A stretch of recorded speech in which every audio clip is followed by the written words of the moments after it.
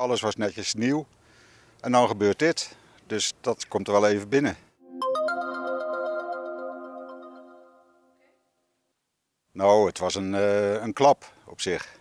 En vooral uh, het feit dat we eigenlijk net klaar waren met alles. Het staat mooi strak in de verf. Van binnen alles netjes. Nieuwe vloer, nieuwe tafelstoelen, alles was netjes nieuw. En dan gebeurt dit. Dus dat komt er wel even binnen. Ja, 19 juli was natuurlijk een dramatische dag voor ons. De, het hele clubgebouw is afgebrand. En uh, we zijn nu ruim twee maanden later en gelukkig sta ik hier nu wat positiever. De club is erg blij met alle steun uit de omgeving van de gemeente en andere sportclubs na de brand.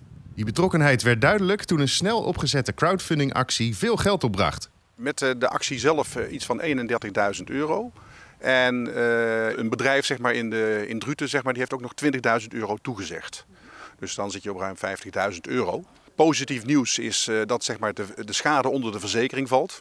Dat heeft de, de, verzekeringsmaatschappij laten weten. Maar wat we ook weten is dat uh, het bouwen, het neerzetten en het inrichten van de noodlokalen die hier dan komen, dat dat niet onder de dekking van de verzekering valt. Dus dat moeten we uit eigen buidel betalen.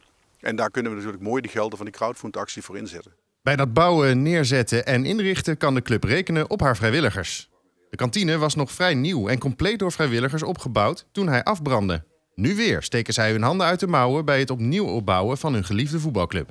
Ja, die, die vrijwilligers die zijn goud waard. Ik kan, ik kan dat niet genoeg blijven benadrukken. Ik bedoel, die vrijwilligers, dat, is, dat, is, dat, draagt, dat draagt SCP. Nou, wij zijn hier uh, elke maandag, woensdag, vrijdag. Toch wel een 12 uur in de week. En dan uh, ja, zijn we in een hoofdzaak met vier man.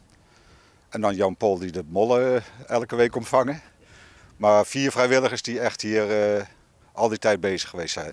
Voordat het hele complex weer top in orde is, wordt eerst gewerkt met noodvoorzieningen die er in oktober moeten staan.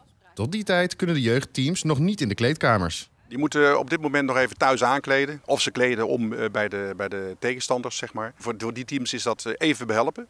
Maar heel snel kunnen ze in de kleedkamers hier bij SCP terecht. En in oktober staat hier alles weer. En voor uh, de zaterdag uh, hebben we een uh, mobiele horecawagen geregeld voor de jeugdteams. Ja, zodat ook het sociale aspect, wat natuurlijk heel belangrijk is voor een vereniging, behouden blijft. De senioren kunnen voorlopig terecht bij de lokale horeca de derde helft, die kan uh, zeg maar in de maand september uh, zeg maar in de horeca in Puifelijk plaatsvinden. Dus dat is heel fijn. De goede vooruitzichten en het feit dat de bal weer rolt op het sportpark is voor iedereen mooi loon naar werken. We hebben onze blik nu gericht op de toekomst en uh, we, we, gaan er weer wat moois van maken.